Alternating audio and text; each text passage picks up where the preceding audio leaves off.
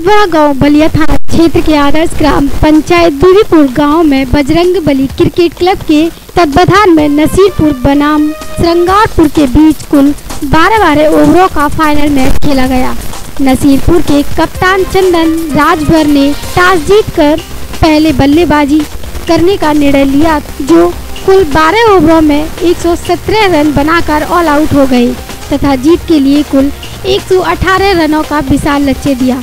जब मैदान में खेलने उतरी संगारपुर की टीम महज 114 ओवरों में 119 रन बनाकर कुल चार विकेट से जीत हासिल कर लिया। मैच के मुख्य अतिथि उत्तर प्रदेश सरकार के पूर्व मंत्री अंबिका चौधरी ने फीता काट कर तथा खिलाड़ियों से परिचय प्राप्त किया तथा अपने संबोधन में कहा कि क्रिकेट एक अनिश्चितताओं का खेल है इसमें जीत व हार कोई बड़ी मायने नहीं रखता, बल्कि खिलाड़ियों के हौसले बुलंद होने चाहिए। जैसे कि माना विजेता या उप विजेता यह दोनों टीमें जीती ही। तो हैं, इसमें हर खिलाड़ियों के हौसले बुलंद होने चाहिए। मौके पर मुख्य रूप से केसरी नंदन त्रिपाठी ओम प्रकाश पाल, महेश यादव, अरविंद यादव ओम प्रकाश पाल ने अंगद वस्त्रम देकर सम्मानित किया तथा आभार व्यक्त किया।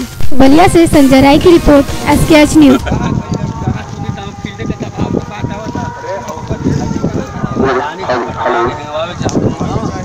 मुख्य अतिथि पूरी पूरी कदमों से मैदान के उपस्थित होते हैं, मैं खिलाड़ियों से अनुरोध करूँगा, आप तालियों से हमारे मुख्य अतिथि का मुख्य अतिथि पूरी से मैदान के उपस्थित